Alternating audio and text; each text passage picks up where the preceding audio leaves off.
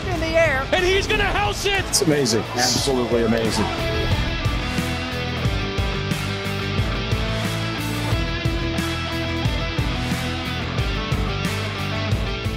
What's going on, everybody, and welcome to another Angle of Pursuit podcast, your NASCAR sports betting and fantasy football home.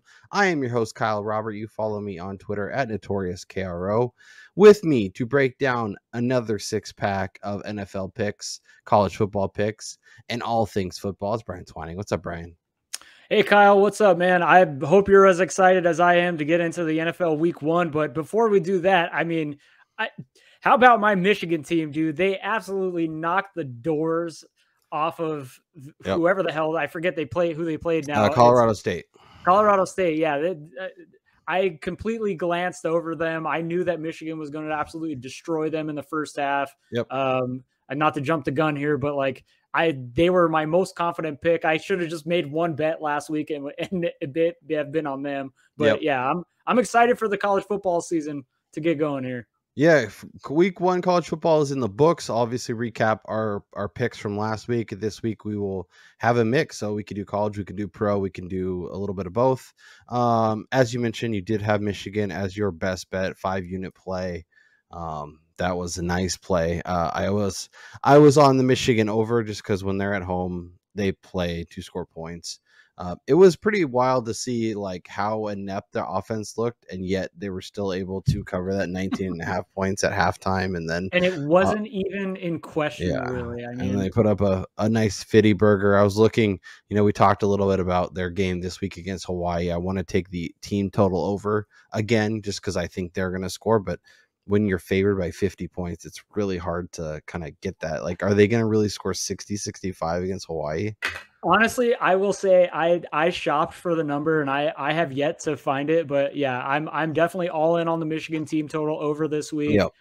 I like them first half minus 31 and a half, whatever the hell it is, because Hawaii is not good. Right. And JJ them... McCarthy starting when he came exactly. in, the offense looked much better. And actually, and, uh, is there a world where Alan Bowman, the QB three, actually looks pretty good and maybe well, so that's that team total so that's where like I feel like especially this week the Michigan team total over is definitely a great play. And then also probably game total over 67 and a half because both of Hawaii's first two games have gone over or close to or gone over this number. And now they're facing a Michigan team with JJ McCarthy starting who's probably going to play the first half in full maybe the first 3 quarters and then Bowman's going to come in.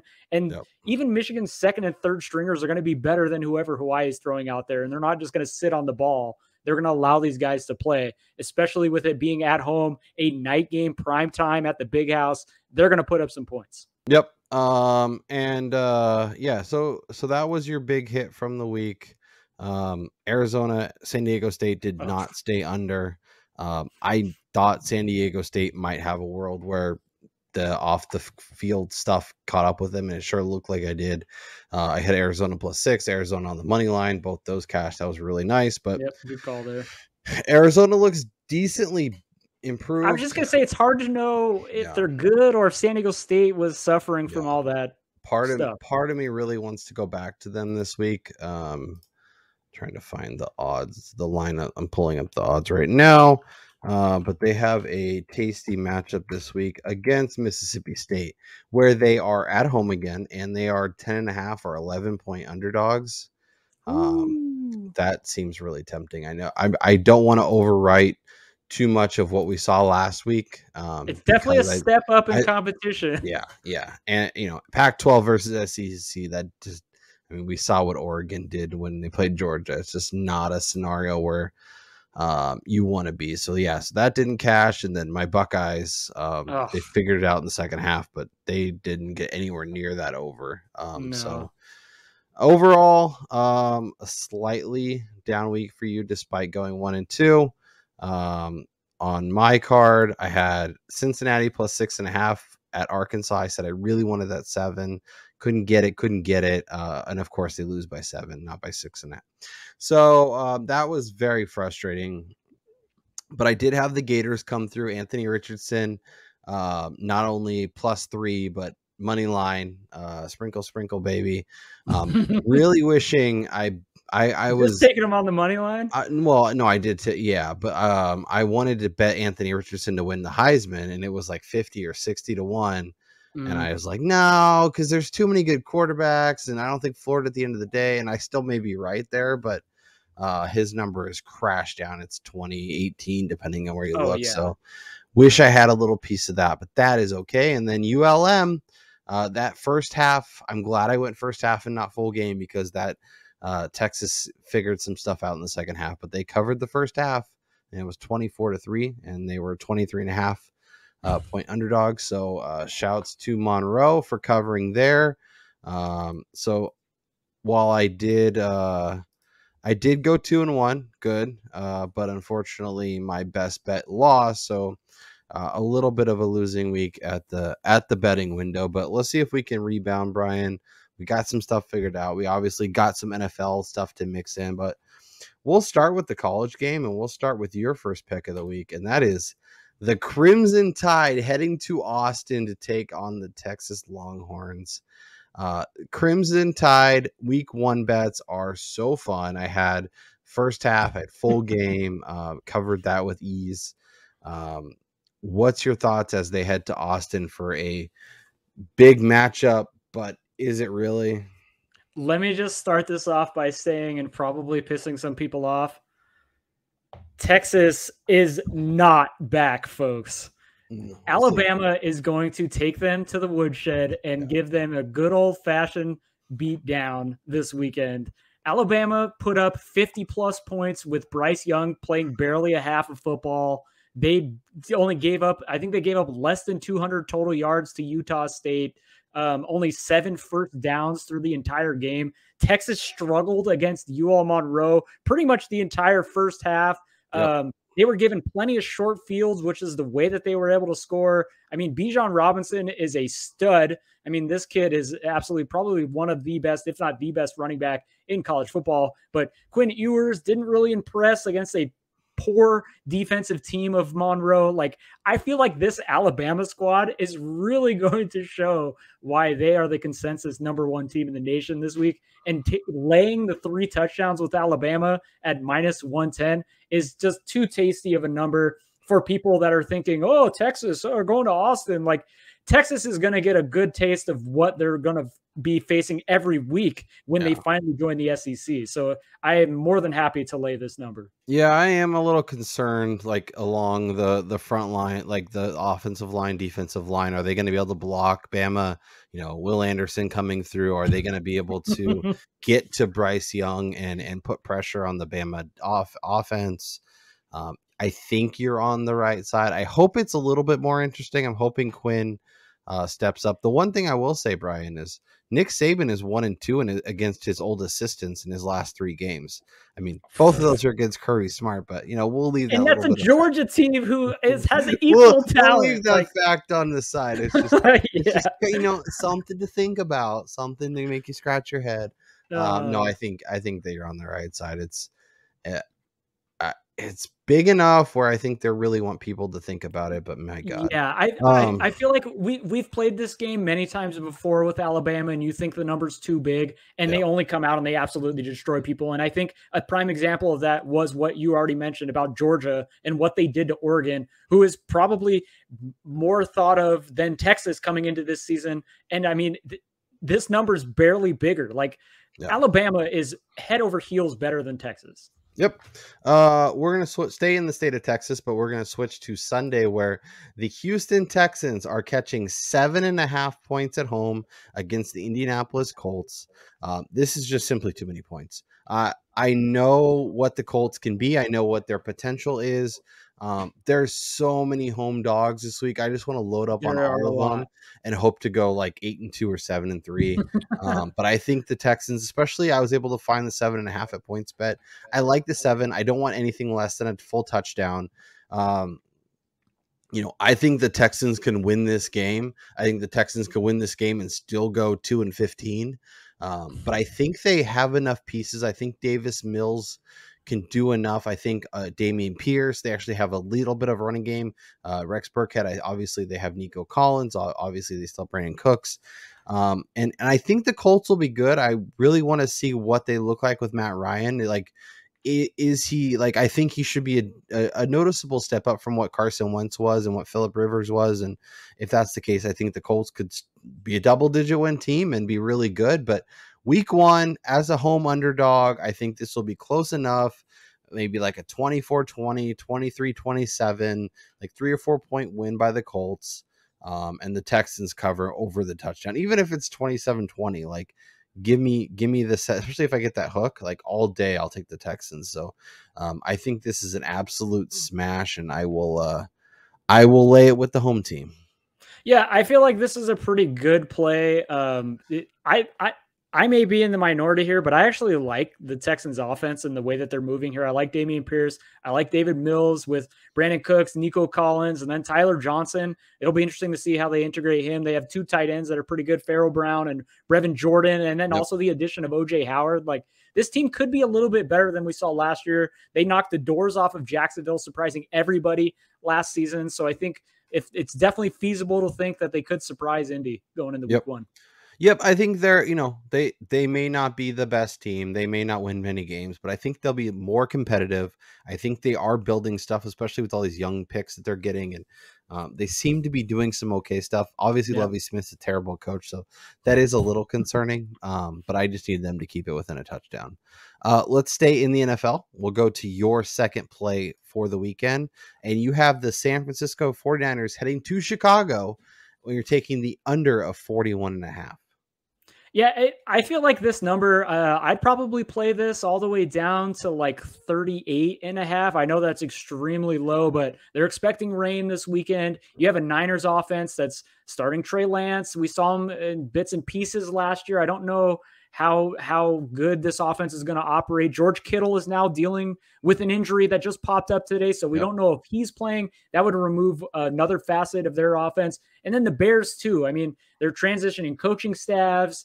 They're kind of beat up on the offensive and defensive line coming into this season. Roquan Smith missed all of training camp. He's barely practiced coming into this weekend. I feel like both of these teams are going to lean on the run. You may see some big bang plays, but I also think with both of these quarterbacks being extremely young, could be some mistakes down in the red zone. So I'm I'm happily taking the under at this, especially in week one.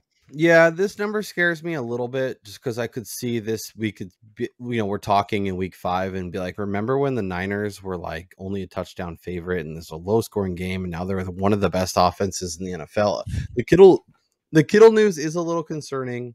Um, I think if I'm betting it, I like a two team tease where I go take the Bears or the Niners down to like, you know, a pick 'em and then take the total up to 48 49 i feel a lot better i was just gonna say if this is definitely a spot where i feel like teasing this with like a six point teaser up to the 47 and a half yeah. probably makes a little bit more sense but in terms of just straight plays i'm still i i still like this number with where both of these teams are at yeah. Either integrating new coaching staff or a brand new starting quarterback. Yeah, and I think the Bears are going to have a, uh, trouble finding their offense, especially if they're going to try and run it 30 times with Dave Montgomery and uh, the Niners will shut them down. So yeah, even if this game is 31 to yeah. 10, you still hit the under. So, yeah. Um, I, you know, it, it does make some sense.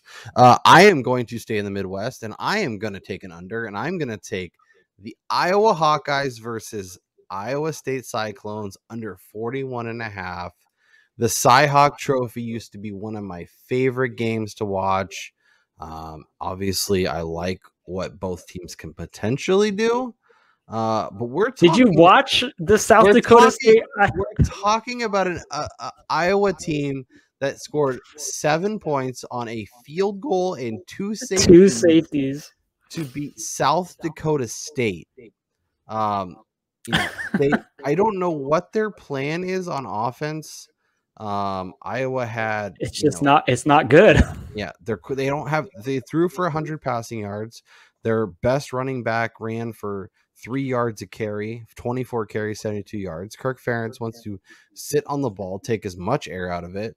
Um, I think Iowa State is very much in rebuilding mode, kind of figuring out where they are. I think it's yep. weird that um, um, they just they never really took the steps forward. They obviously lost Brock Purdy, they lost Breece Hall, they lost a lot of pieces. I think this game is going to be ugly, um, like thirteen to 10, 9 to seven, something gross. Um, and I think we go way under. So if you can get this 40 or less, uh, or, or, anything above, like basically yeah. anything above 39, I take 39 and a half or higher. Um, and I, you know, I, I think it's an absolute smash. So uh, both these offenses will have, and like you could be like, well, Iowa wasn't trying to put anything on tape. Like I like there's lots of teams that don't put anything on tape and score. I don't think they have the ability to put anything on yeah. tape. That's the issue it was it was atrocious. Um, luckily, yeah. my eyes weren't bleeding because I didn't have to watch this game. But yeah, um, I think I think this is an absolute smash. So let's go to your next play. Uh, we'll stay in the Midwest yet again, and we'll head to Minnesota, where the Vikings are taking on the Packers. Uh, over 46 and a half. Talk to me about your thoughts here.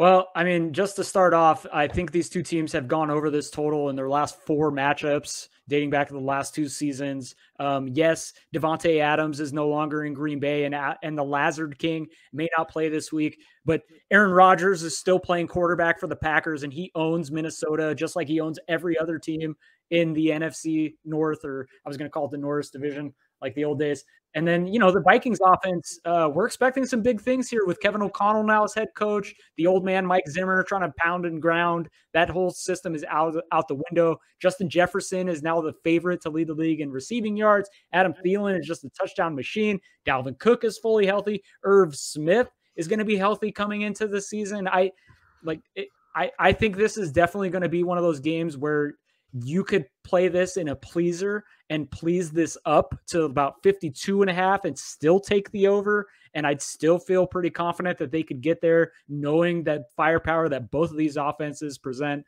And then with uh, Minnesota's defense is also getting older. So I feel yeah. like even with the worst offense supposedly of the Packers they will still have no problems moving the ball against them.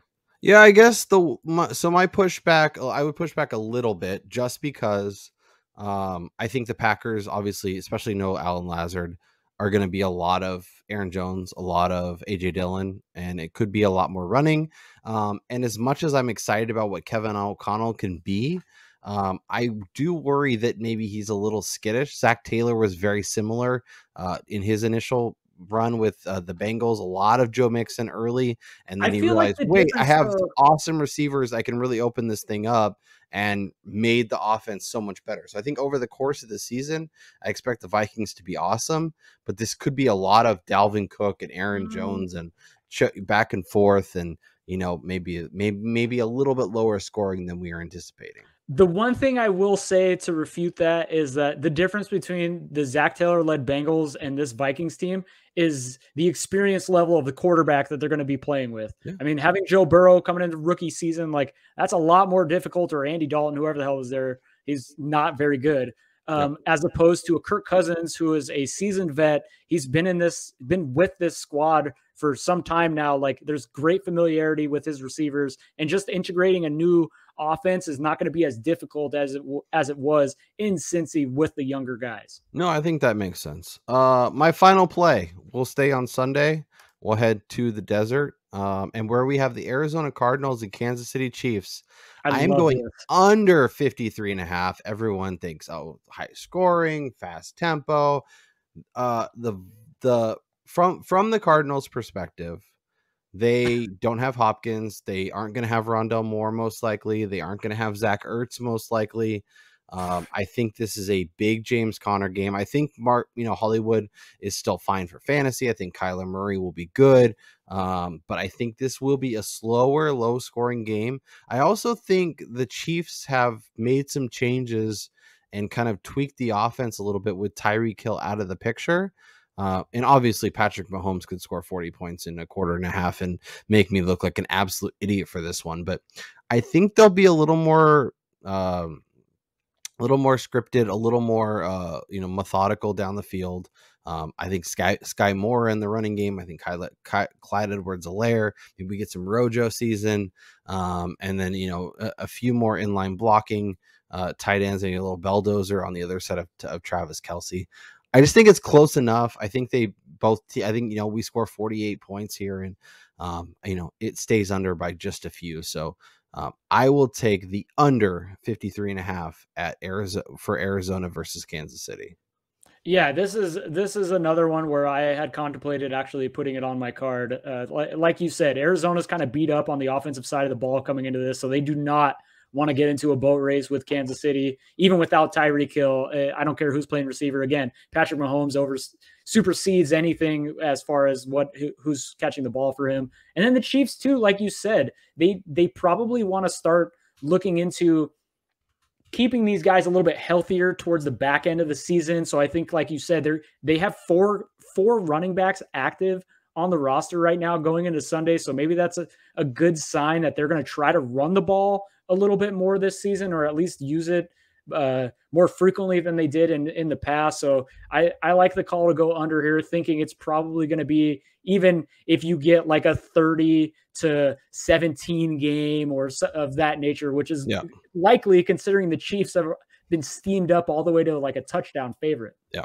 Yep. Yep. Yep. All right. Let's uh let's recap our card. Let's give the people the units for each play. Um, and then let's get out of here. So, Brian, give them your three bets. Give me your units for each one. Um, and then uh, we and then I'll do the same, and then we'll get out of here. All right, so we'll work back to front, starting with the Sunday games for the NFL Week One. My two picks here. I'm going to be Green Bay at Minnesota to go over 46 and a half points. I'm going to go three units on that. I feel fairly com- comfortable going pretty heavy on this game. And then the other NFL game is going to be San Francisco at Chicago to go under 41 and a half. And I'm going to play two units on that with the two young quarterbacks. And for my best bet of the week, we're going to Saturday, Alabama to absolutely destroy Texas because they ain't back. And I'm going to play a full five units on Bama minus 20 in this big matchup.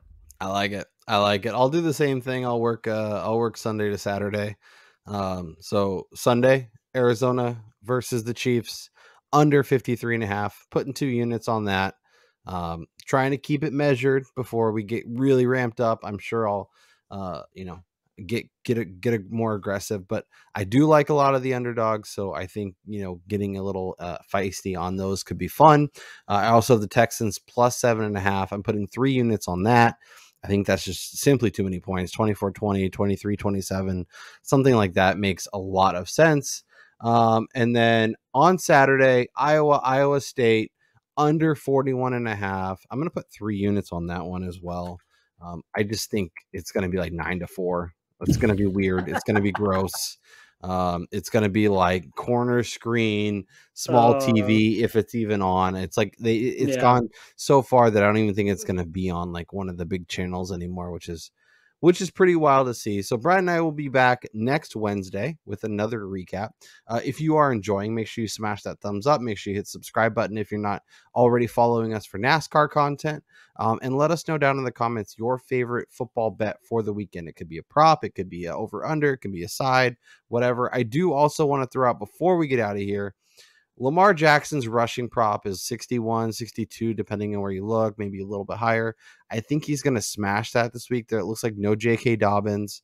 Um, I know it's the Jets, but I could see him breaking off a few big runs and being really valuable this week and kind of adding a little bit. And, um, you know, uh, that game scares me a little bit. But if you are going to bet Baltimore, I think you do alt line and take like minus nine and a half or minus 13 and a half or you know keep getting more aggressive as as you Joe see Flacco fit. Revenge though. Uh, right. Well, I think that's I think it's either forty two to ten or Joe Flacco finds a way to beat the Ravens in Week One, which would be fucking hilarious. So that would be that's, awesome. That's Brian Twining. I'm Kyle Robert. You guys enjoy the slate on the weekend, and we'll talk to you next week.